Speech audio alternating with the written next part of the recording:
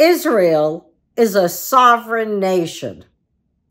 Has anyone forgotten in America that they're a democracy?